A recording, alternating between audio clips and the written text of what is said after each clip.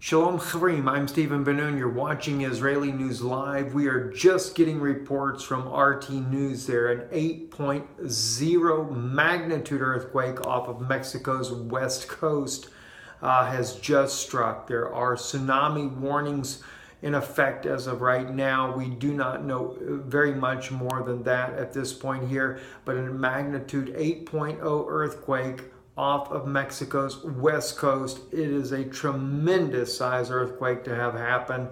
Uh, just makes you wonder what's going to happen next. All the disasters that are happening here uh, near the United States. I'm Stephen Ben-Nun. You're watching Israeli News Live. Erev Tov.